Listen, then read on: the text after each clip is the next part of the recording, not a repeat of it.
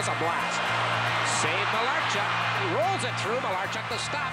Dinks his way in on Malarchuk. Fakes and Clint stops it. Clint Malarchuk played 338 games in the NHL, but he's remembered for one. Power goes to the corner of the basket. Oh, wow! That is the. Oh, God. Oh, please take the camera off and don't even bring it over there. Throat slashed, blood gushing, Malarchuk nearly died on the ice in what's still considered the most gruesome injury in the history of sports. He received no counseling and was back on the ice just 10 days later. I am in a, in a hurry to get back. I want to get the pads on and, and, get back in there because I think the longer you wait, the, the tougher it is mentally anyways. But he would pay a price in the long run. The mental illnesses he hid all his life began to spiral out of control.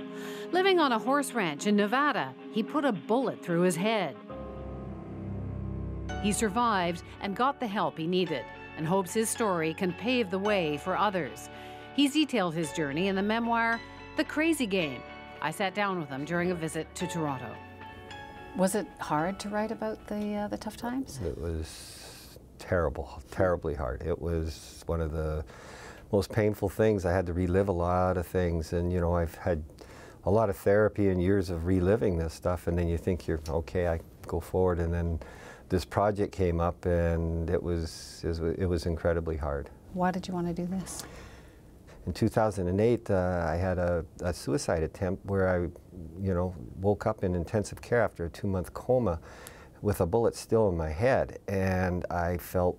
I remember my mom flew down from Canada, and and uh, uh, we kind of just looked at each other. and said, "Better finish that book. You know, you're here for a reason. There's a purpose." Because you grew up in a sport where you're supposed to suck it up. Yeah, right? you're a man. You're the man's man in Canada hockey. You're the hero. You're bulletproof. You're, you know, where's your cape? You know, it's it's we're supermen to to people in Canada.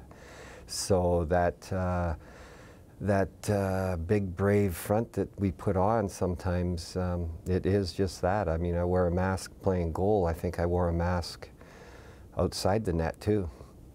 So you got to a really bad place.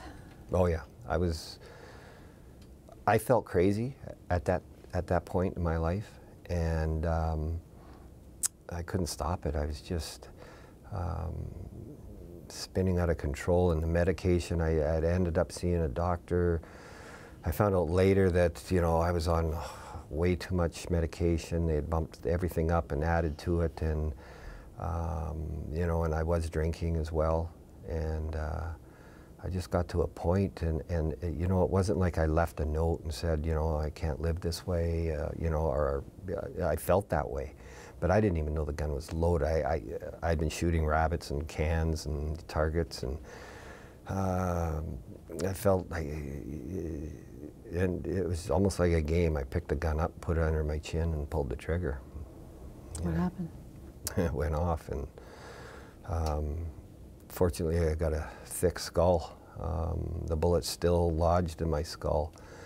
Um, and again, you know, that macho thing. I, I, I wasn't going to get on the life flight, the helicopter, and uh, they're going, "Sir, you you have a you have a bullet in your head. You, ha you we don't you, right now. You're conscious, but you, it could move. We don't know. You have to get on the helicopter." I'm like, "No, give me a needle and thread. Sew it up. I'll be fine." Yeah, I didn't lose consciousness until they uh, sedated me to get me on the helicopter. So, yeah.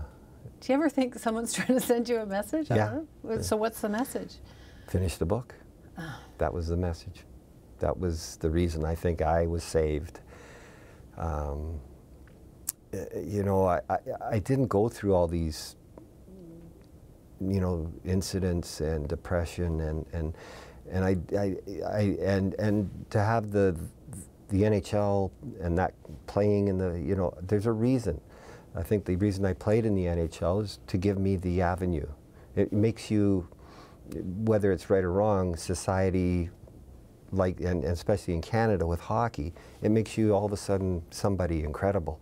And then to have all these problems in my life and overcome them, there's, what's the reason? Well, I think it's because you're given a certain amount of fame that gives you an avenue to reach out to people and do interviews and, and to write a book so and to tell your story. People? Yeah, save oh, people? oh, for sure, for, absolutely.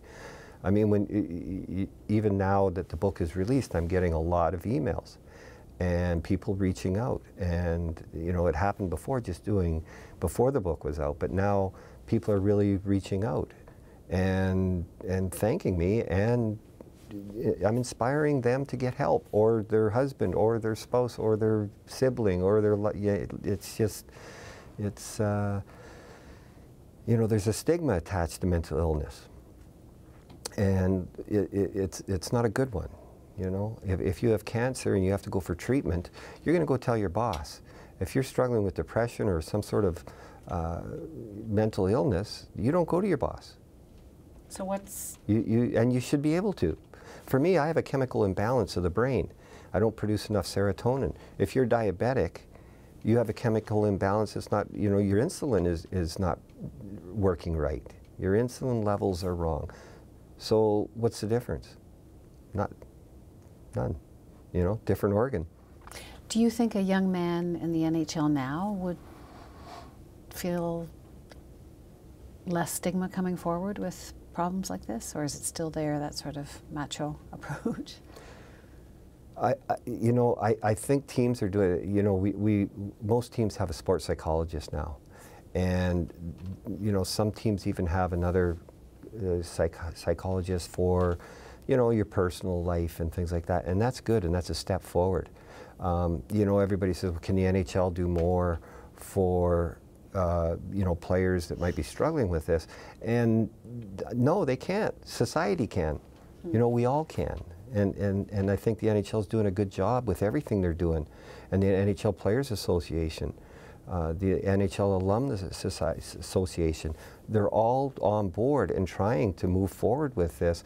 But until we really get uh, moving uh, as a society, you know, and be more accepting and open about this. And I think talking about this like we are, um, it, it's it's no different than a physical ailment. It really isn't.